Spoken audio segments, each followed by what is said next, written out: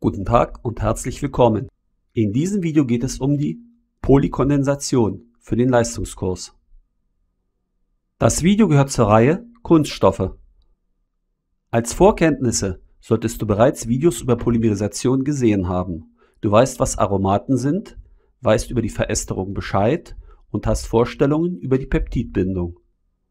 Mein Ziel ist es, dir in diesem Video eine Übersicht über die Polykondensation und wichtige Beispiele dafür zu geben.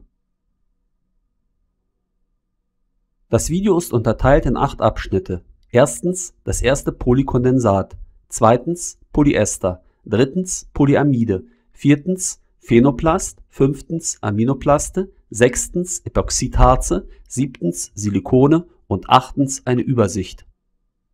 Erstens das erste Polykondensat. Im Jahre 1872 brachte der deutsche Chemiker Adolf von Baeyer Phenol und Formaldehyd zur Reaktion. Er erhielt einen Kunststoff von orangener, roter oder schwarzer Farbe. Bei der Reaktion wird Wasser frei. Es ist eine Kondensation.